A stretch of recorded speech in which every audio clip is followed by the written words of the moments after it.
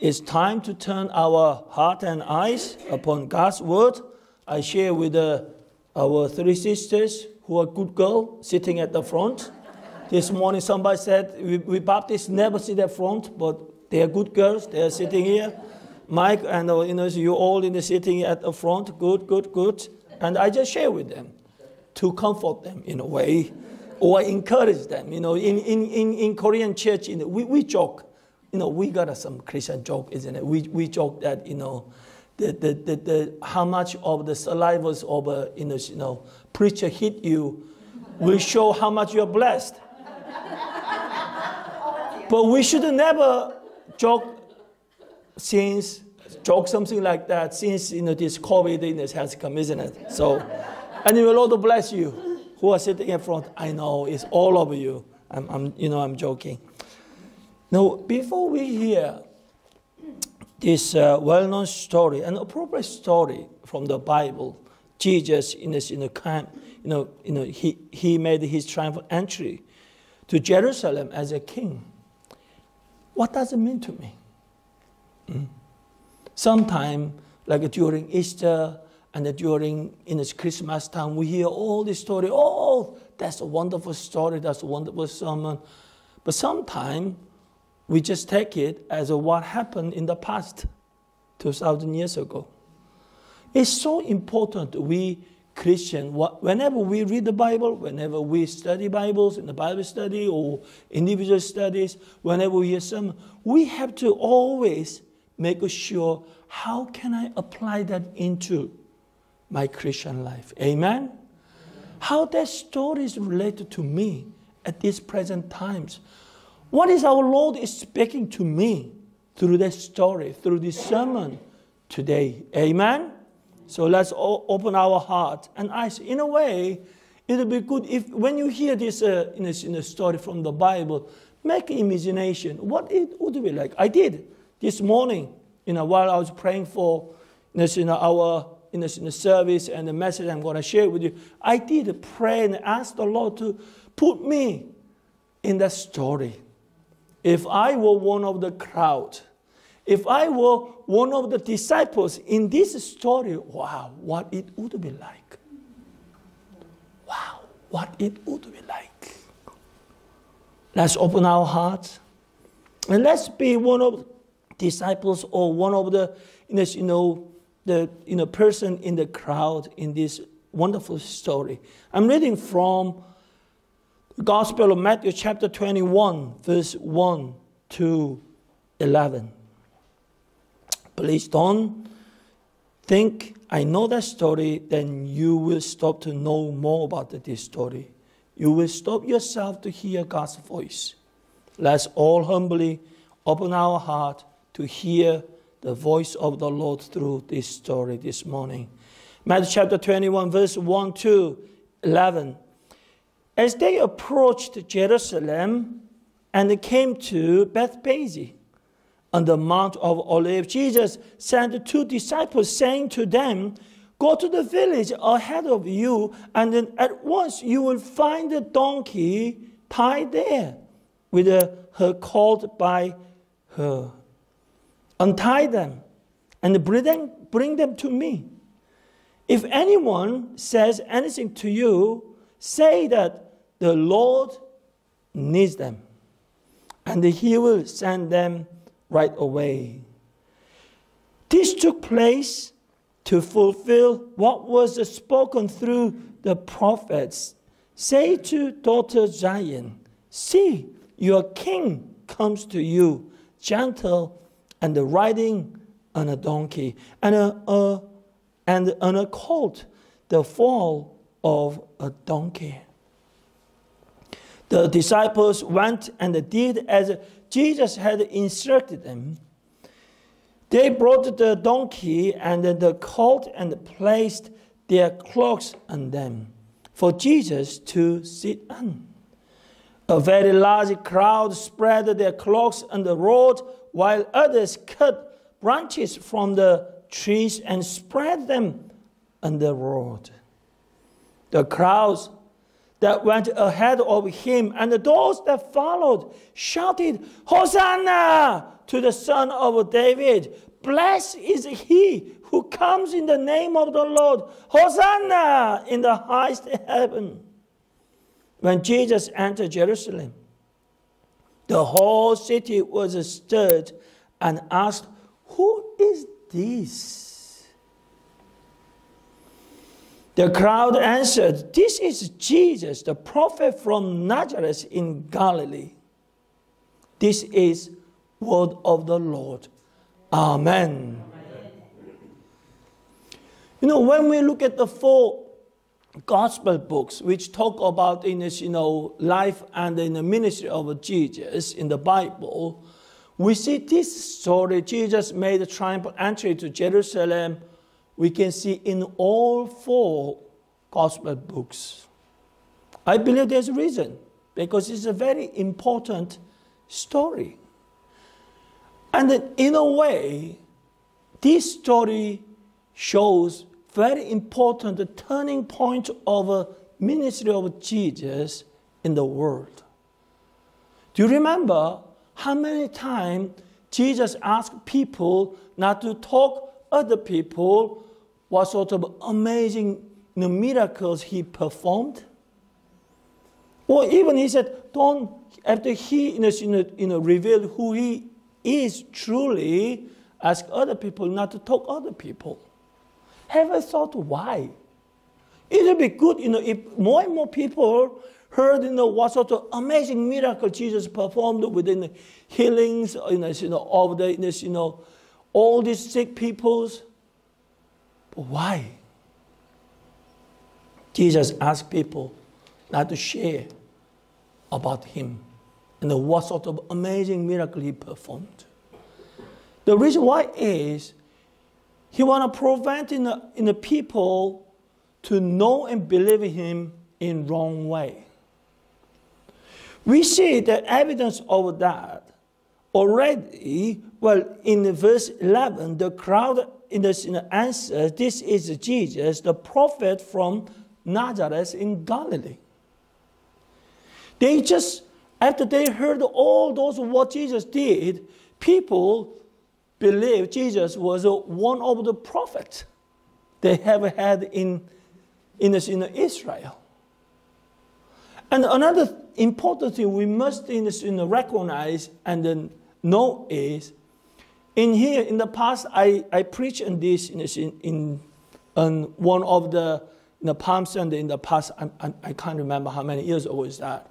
In here, there is a big contrast between what Jesus was uh, really want to do through that triumphal entry and what people in the crowd really expect was completely different.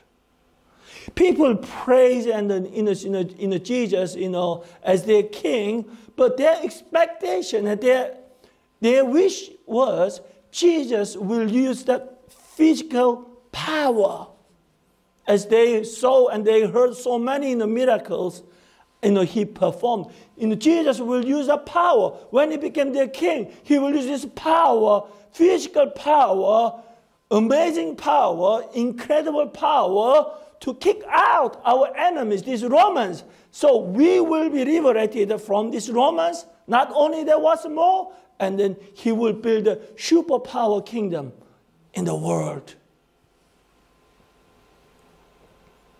But actually, we see what happened. Then Jesus made the triumphal entries. Jesus' way, God's way was different.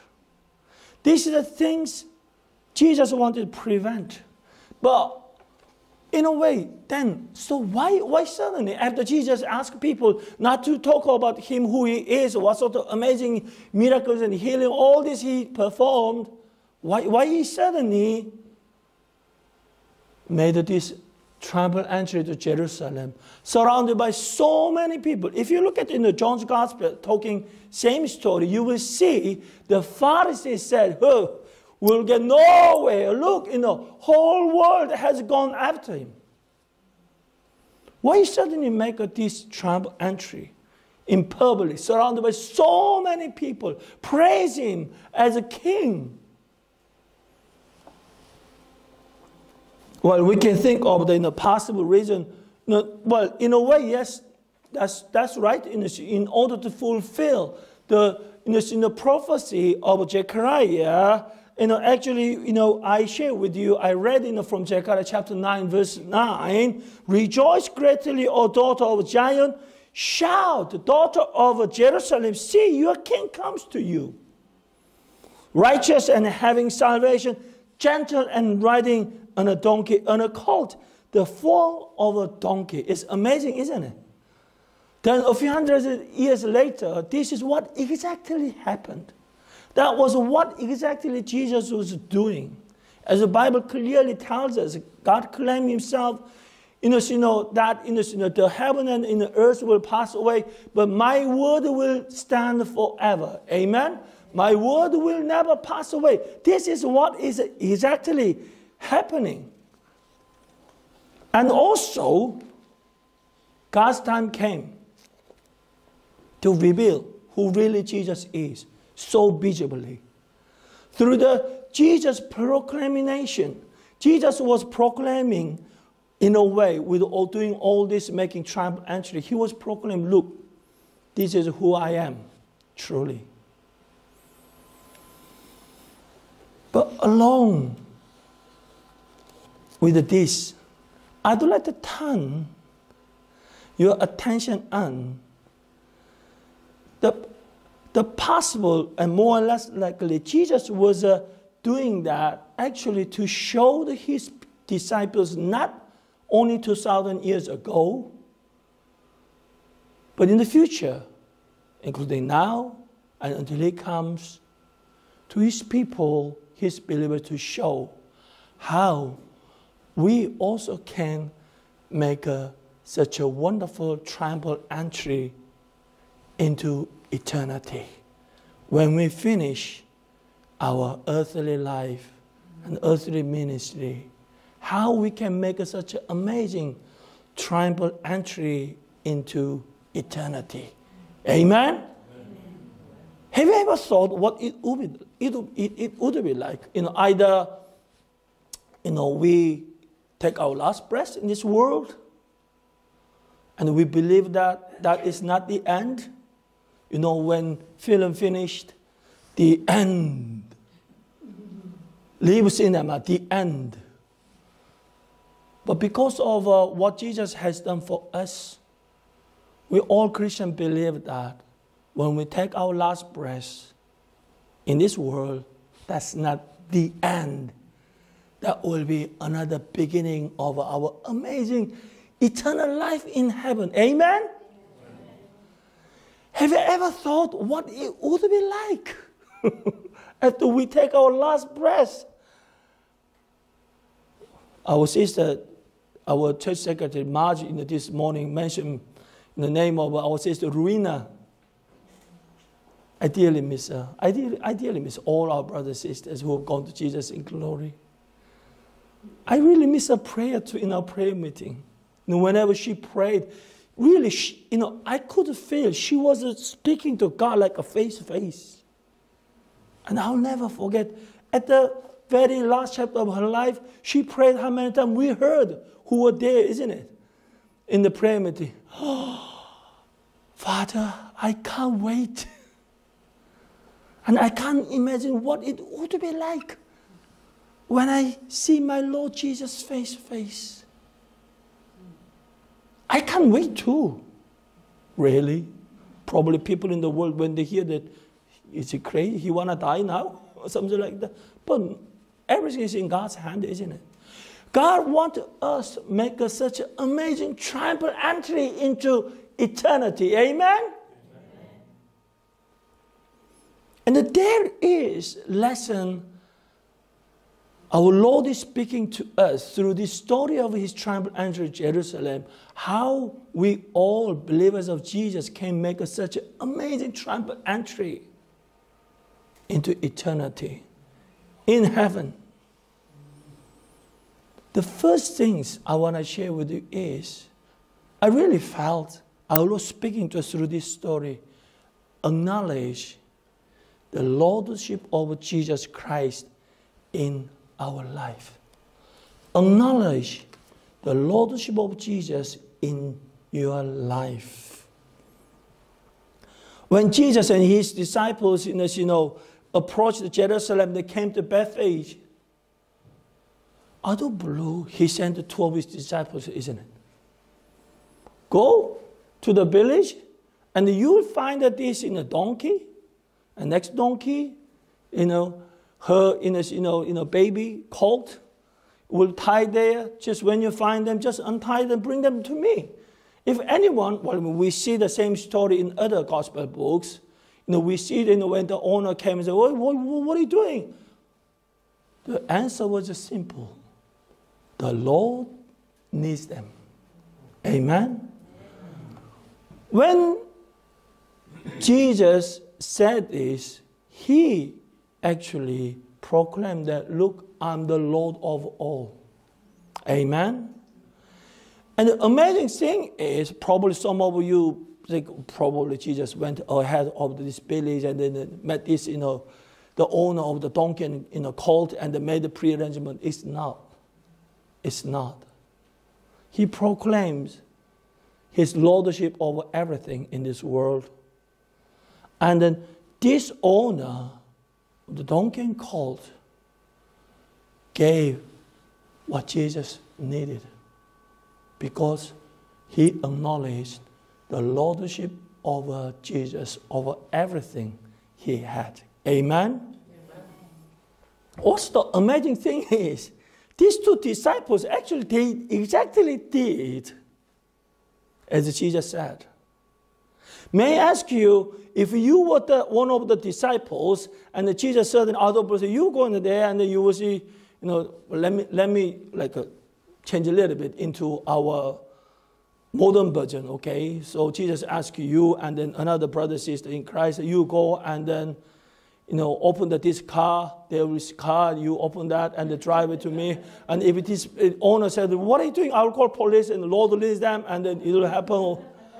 But amazingly, probably I may scratch my head, Lord, I may be arrested. yeah. But these disciples, uh, two disciples Jesus, though probably they struggle a little bit understand what Jesus is talking about. But when they went, that's what exactly happened. They obeyed to acknowledge the lordship of our Lord and Savior Jesus Christ. You know, my dear brothers and sisters in Christ, how it is important we acknowledge lordship of Jesus Christ in our life and in our ministry. You know what? Whenever in our church we need to make a decision. You know, as a pastor in the church, my prayer is always same. Lord, this is your church.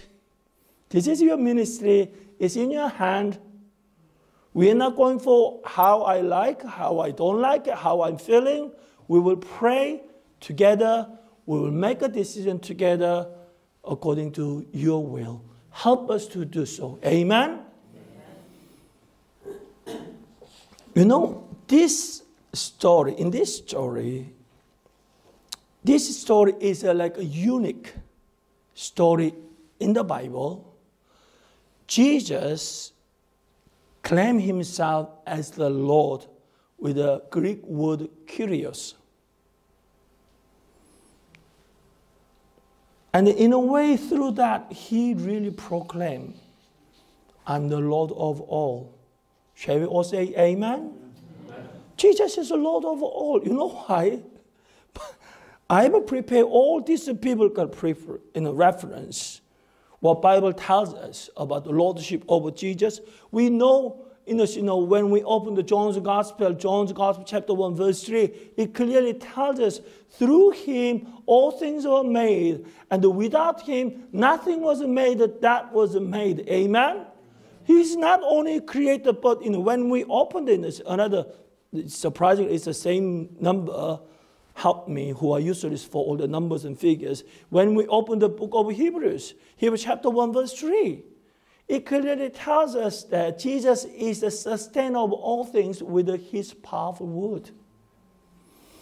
But when we open the Old Testament, surprisingly, in book of Deuteronomy chapter 10, verse 14, it clearly said, Behold, to Lord your God belong heaven and the highest heaven, the earth, and all that is in it. Amen?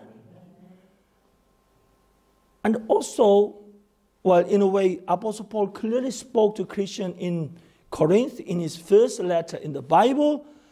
You know, everything we have is from the Lord, even our body. Hmm? When we look at in the first Corinthians chapter 4, verse 7, what do you have that you did not receive? Means you did not receive from the Lord. And in, in chapter 6, verse 19 and 20, 1 Corinthians, do you not know that your bodies are temple of the Holy Spirit, who is in you, whom you have received from God? You are not your own. You were bought at a price. What was the price? How it was paid? Through the suffering and shedding blood and death of the Lamb of God, Jesus, and the cross of Calvary. Jesus paid it all. Amen? Amen. Then he said, Therefore, honor God with your bodies. And the Bible clearly tells us even our life is from and in the hand of the Lord. When we look at this, you know, parable of this rich fool in Luke's Gospel, chapter 12, verse 16 21, the rich fool actually was so blessed. He had an amazing innocent harvest, and he made a innocent plan. You know, he was thinking, "Oh, so I should, you know, take the, you know, all these small barns uh, you know, down, and I will build a larger barns." All this, and with his pride, with his arrogance, he just, you know, you know thought himself, you know, as he had so many and plenty, actually it was from the Lord. He said, Take a life easy, eat, drink, and be married. That's what Satan whisper to the people in the world, isn't it? Take a life easy, eat, drink, and be married. But Jesus, this is what our Lord Jesus said about him. But God said, You fool! This very night, your life will be demanded from you. It's a serious, isn't it? Serious statement. What he's saying is, no matter what sort of a plan you make, even your life, if our God decides to take my life tonight, it'll be sad, say bye bye to you all and to my children, my wife. But that's it. If that's God's will, it will happen. No matter what sort of illness, you know, all the plan whatsoever, no matter how we think about ourselves, if God decides to take our life tonight, or even 10 minutes, or after we finish in this service, that's it. It will happen.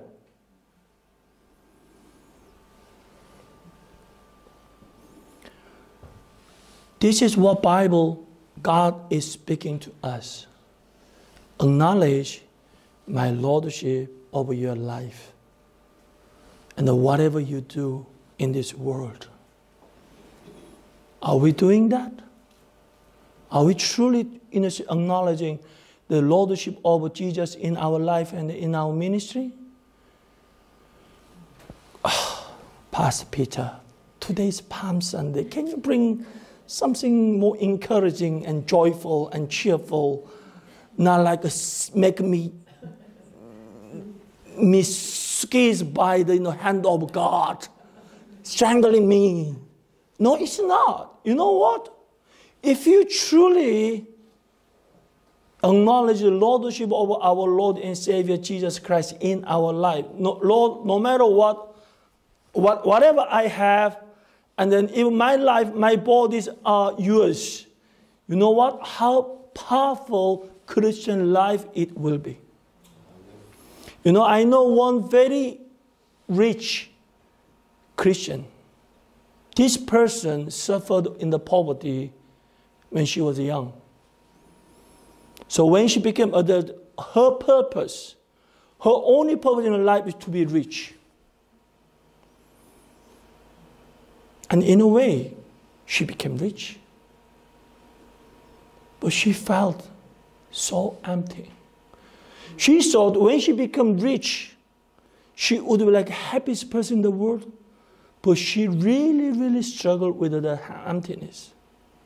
But since Jesus came into her life, and through all that in this up and down of roller coaster like in this her life, and when she really heard the voice of the Lord, acknowledge my lordship over everything you have. Then you know what? She said, all her life, she lived in tense, tension. Oh, I need more. I need more. I need to earn more. I need to earn more. I need to do more. I need to more. I need more people to make more money. Her life was actually being dragged by all this. And she certainly felt freedom from all that. You know what? She actually admit in, in her testimony, she was slave of that money and wealth in this world. But you know what? When she truly handed everything over in the, into the hand of Jesus, she not only felt you know, had a blessing of complete freedom in the Lord, number two, she really felt from that time through Jesus and His Word, through the guidance of Holy Spirit, she really felt from that time she began to reign over all the wealth and possessions and money in this world. So she just felt free. Whenever she spent some money for the Lord, she had the joy. Before, she had to go, oh, am I spending right, you know, my money in the right way? Something like that. Joyful. Freedoms. That's the reason why our Lord Jesus is asking us to acknowledge His lordship over us. Amen? My dear brothers and sisters in the Lord, is there anything make you feel you are being dragged by something in this world rather than Jesus? Today, this morning, through the, that triumphal entry Jesus was making, our Lord is asking us to acknowledge His Lordship over you because Jesus wants to set you free from all the shackles of this world. Amen? Amen. Not only that, Jesus wants you to work with him and reign over things in this world for his kingdom. Amen? Amen. What a blessing that is. So I, I, I, don't worry about it. Yeah, I, I do my best with the things I have with my wife. What do you expect? I'm a minister in the church. What do you expect? I don't have much money. You'll be surprised if you see my bank detail. Is, is that all? And someone asked, someone talked to me, yes, seriously, a Christian in, in America. Pastor, I'm, do, do you mind if I ask you, because I'm asking you not try to be nosy, but because I dearly love you, do you have a, your own house? no. Think about your age. What are you going to do you know, if anything goes wrong in your ministry? You can't continue ministry. You have to come out from your something. I said, don't worry. Thank you for your worry concern about me. I don't worry. What did Jesus said? Do not worry what to eat, what to drink, or what to wear. All these worries are what the pagans, unbelievers are doing that. But first seek his fun, seek first his kingdom and his righteousness, and all these things will be given to you. Amen? Amen. How powerful it is. Probably with the lack of faith, we feel like when we give a little. I'm not just talking about the money, it's about our times and our lives, whatever we have in our lives. How powerful that faith is make us uh, feel free, completely free from all the worries whatsoever.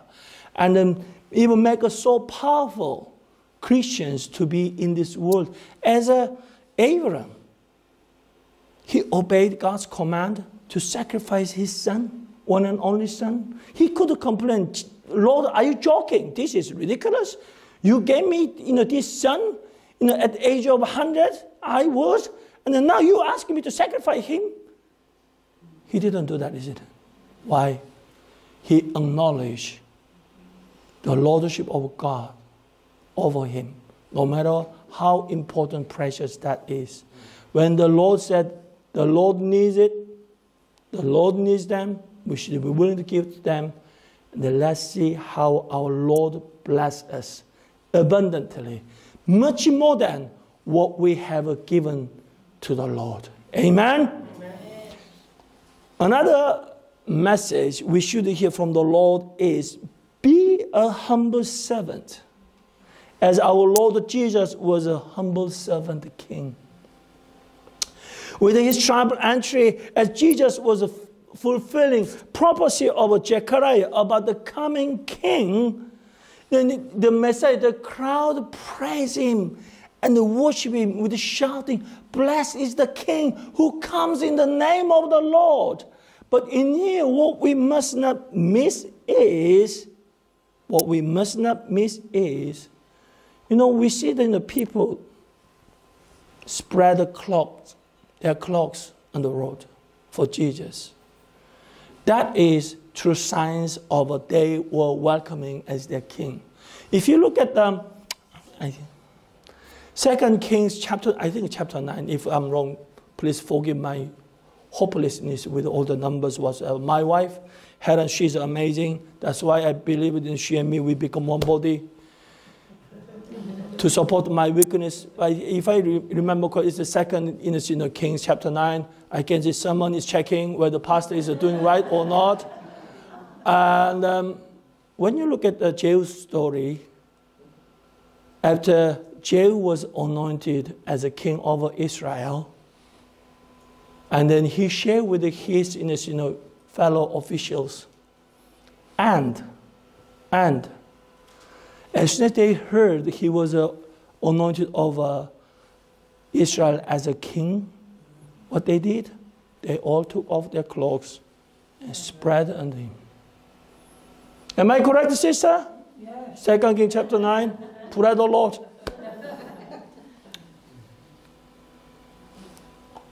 They will welcome him as their king. And also, we see it in the people spread in the you know, palm branches. That's why Palm Sunday.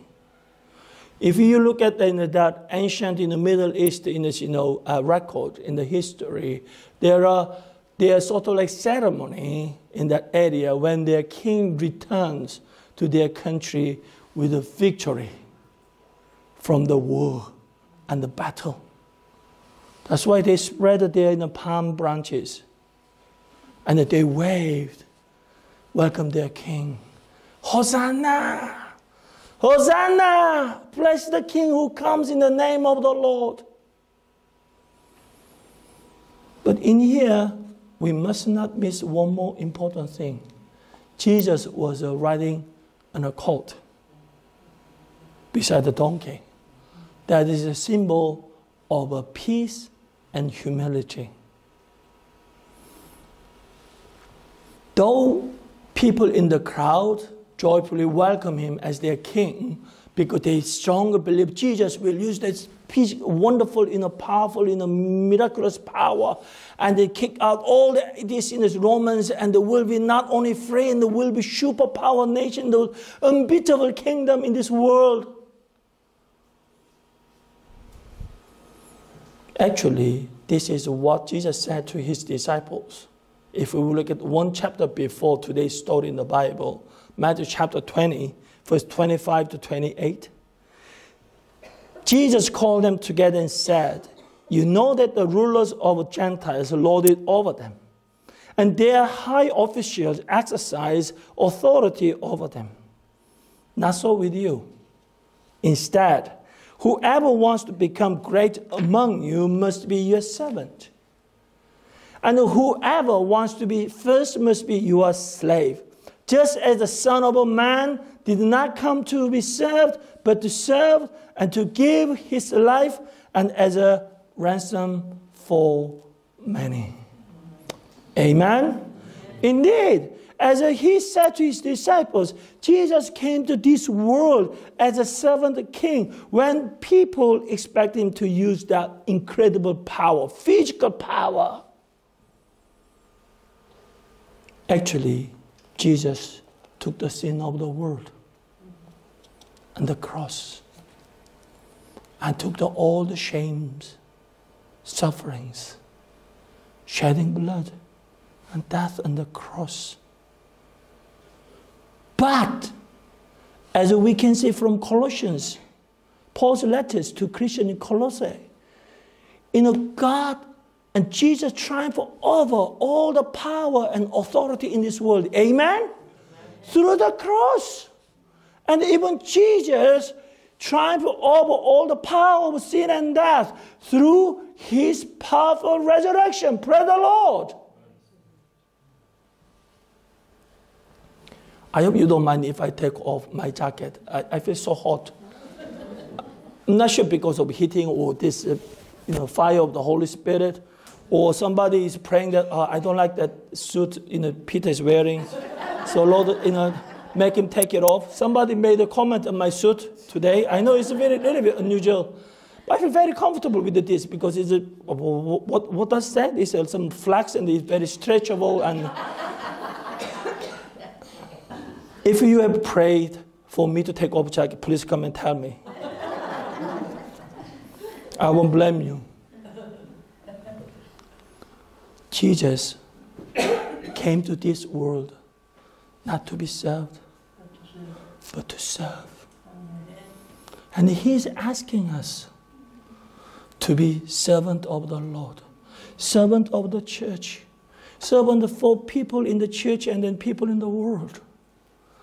That is one of the way we become true disciples of Jesus. You know what? I still remember, you know, when I sat down with the leadership of this church in the Beulah, and as a first interview, one of the deacons asked me, What do you think about the elders in the church? It was not easy question. But only I, what I could was, I, I, I quoted what Jesus said. As our Lord Jesus you know, said, He came to this world not to be served, but to serve. The elders of the church should be true humble servant in the church. Not like I'm the leader of a church, so you listen to me. This is what I want and you should do. Wrong. Wrong. That is complete opposite way Jesus asked us to serve. He wants us to be true servant of the Lord, true servant of His church, true servant of people in the church and the people in the world. Amen? Amen. This is our God, the servant kings. He calls us now to follow Him, to bring our lives as a daily offering of worship to the servant king. Amen. Do you remember what Lord Jesus said in the Matthew chapter 23? In you know, for those who exalt themselves will be humbled, and those who humble themselves will be exalted. This is what exactly Apostle Paul says to the church in Philippi about the Jesus in his letter. If we look at in the Philippians chapter 2, verse 5 to 11, your attitude should be the same of that of Christ Jesus, who being in very nature of God, did not consider equality with God something to be grasped, but made himself nothing taking the very nature of a servant, being made in human likeness, and being found in appearance as a man, he humbled himself and became obedient to death, even death on the cross. Therefore, as Jesus humbled himself and made himself nothing, obedient to God to death, therefore, God exalted him to be highest place and gave him the name that is above every name. That at the name of Jesus, every knee should bow in heaven and earth and under the earth, and every tongue confess that Jesus Christ is Lord to the glory of God the Father. Shall we all say amen? amen? But you know what? In, in the Bible, we see how God distinguishes his true servant and who are like a servant but actually not.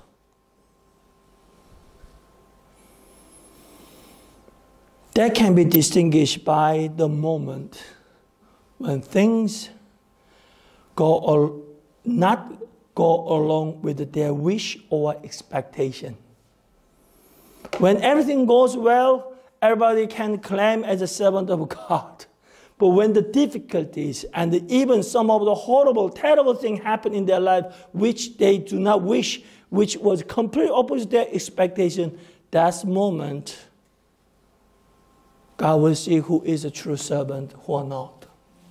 You know, people who praise and you know, accepted Jesus innocent as their king. What happened a few days later? Hmm? We, we watched the film of the, the Passion of the Christ. I mean, Pontius Pilate, they mocked this, you know, you know, these Jewish leaders and then the people in the crowd. This is mad. You, you, you praise him as a, your king a few days ago. Now you are shouting, crucify him, crucify him. What did happen? Why it happened? Because their expectation was, okay, we accept you as our king if you meet our expectation. If we truly use that powerful in uh, the, you power to kick out all the Romans and then make a, our, our you know, uh, kingdom of Israel to superpower nation, then I will serve you. But if you don't, actually that's what happened, isn't it? In the trial of Pontius Pilate, they saw how after Jesus was flogged and beaten and then mocked in the, you know, we see in the, this passion of Christ how he was, he was suffering with shedding the blood and so powerlessly standing there. Then they change their mind. They change their mind. From the praising him as their king to shout, crucify him, crucify him.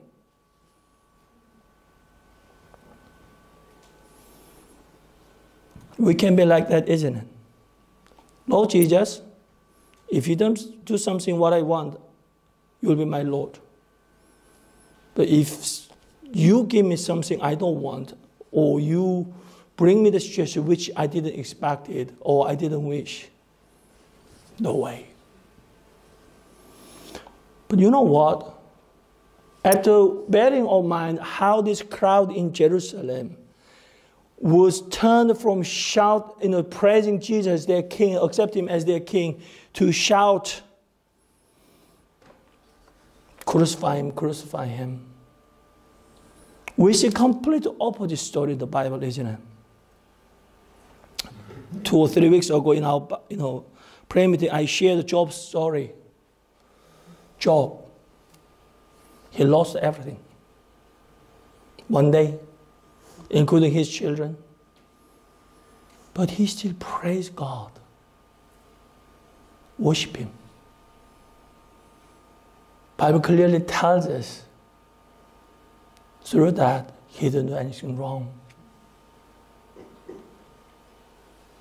And in the Bible, before that story happened, you see that's the reason why God called Job as a my servant. Amen? My dear brothers and sisters in Christ, if we become truly servant of God, faithful servant of God, as Jesus has been faithful servant to us, no matter what happens, we should continuously follow Him, praise Him, and worship Him as my Lord, my Savior, and my King. Amen? Amen. In our Christian relationship as well. Sometimes, you know, in, in, in the church, people say, Oh, I love you could mean as long as you do what I want, as long as you meet my expectation, as long as, but one day if you don't meet my expectation. Or if you even upset me, you will see my different face. That is not faithful servant. Our Lord Jesus didn't love us in that way. Jesus' love is unchanging, unconditional, unfailing love. Amen? That is the love we have received. So, as Jesus said, gave his new commandment to his disciples on the night he was arrested love one another as I've loved you. By this, all men will know that you are my true disciples. Amen. And last we should keep you know, proclaiming and praising the name of Jesus in this world as our King, as our Lord, and as our Savior. Proclaiming and sharing the name of Jesus is so, so important. Is God, Jesus calling for all Christians? Please, please don't think that's for pastors or evangelists only. It's for all Christians. You know, in Luke's gospel, talking same story, triumphant entry of Jesus, we, we, we see that, you know, these Pharisees hated the this, you know, you know, everyone followed Jesus. So they said, Teacher, rebuke your disciples. And what did Jesus said? I tell you, if they keep quiet, the stone will cry out. Amen? What does the, the last verse of the whole book of Psalms says? when we open the Psalm 150, let everything that has breath praise the Lord. Praise the Lord. Amen? Amen.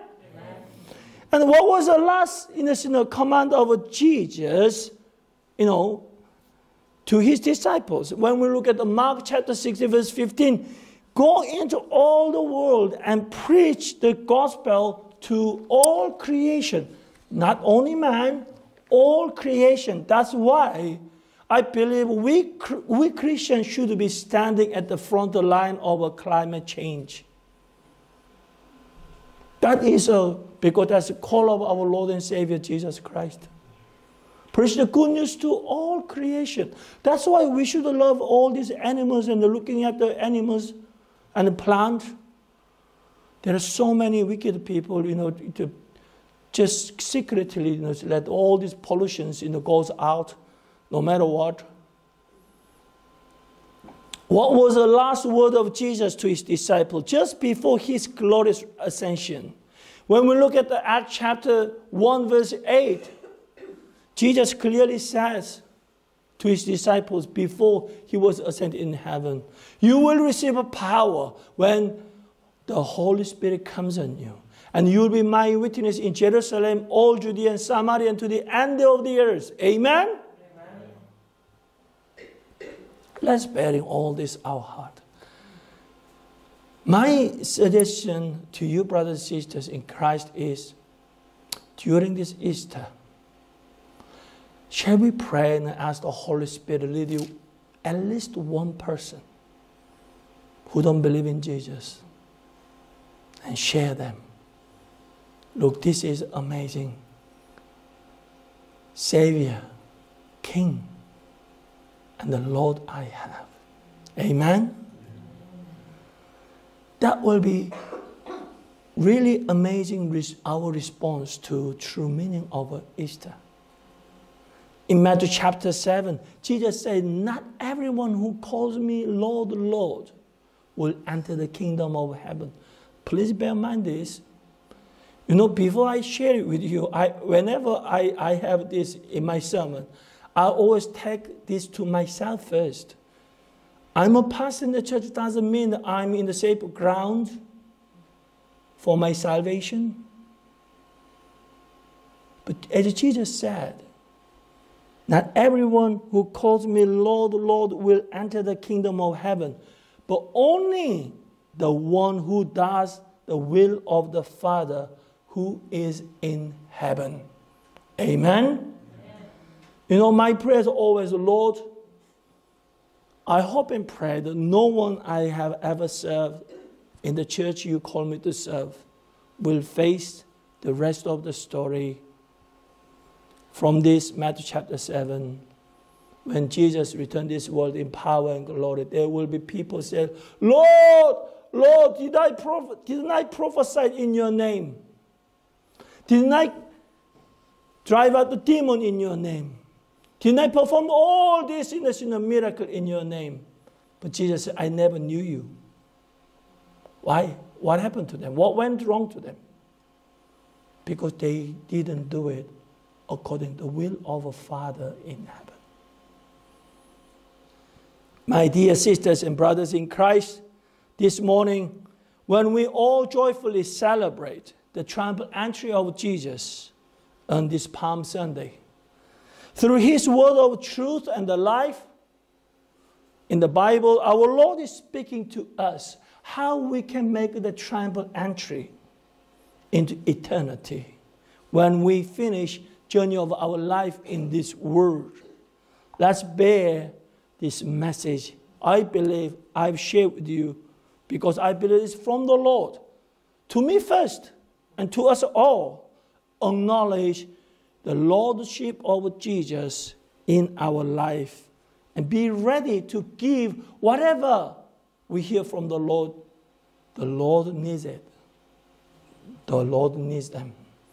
And let's be humble servant of the Lord as he was a humble, humble servant king who gave his life for the salvation of mine and the world. Let's keep praising and proclaiming and sharing the name of our Lord and Savior Jesus Christ in this world. Then, when we finish our journey of life in this world, and when we joyfully make our triumphant entry to eternity in the heaven, before our Lord in glory, we can joyfully proclaim, Hosanna in the highest heaven. Shall we all shout joyfully, Hosanna! Hosanna! As time has gone on, we will just you know skip you know, the, the hymn you know, we prepared, but we will do communion together to remember our Lord and Savior Jesus Christ. Here is the table of the Lord. We are gathered to his supper a foretaste of things eternal. Come when you are fearful to be made new in love. Come when you are doubtful to be made strong in faith. Come when you are regretful and be made whole. Come, old and young. There is room for all. I'd like to invite you, all brothers and sisters in Christ, to come to the table of the Lord together. But may I share with you, this, is, this communion is for all those who truly believe in the Lord as their personal Lord and Savior. If you don't know, I'm not sure where I'm standing in the, in the Lord, you know, you know, please, but still uh, stay with us. I'm sure our Lord will bless you in this time, we remember our Lord and Savior Jesus Christ. This time, we are reminded that we, each individual Christian, is not alone because Jesus is with us. Also, because we are part of this body of Jesus Christ with my dear brothers and sisters in Christ. Let's pray. Let's pray. Almighty God, to whom all hearts are open, all desires known, and from whom no secrets are hidden. Cleanse the thought of our hearts by the inspiration of your Holy Spirit and the power of your word of truth and life, that may make us to be perfect to love you, and then worthily magnify your holy name and proclaim your name to people in this world. In Jesus' name we pray. Amen.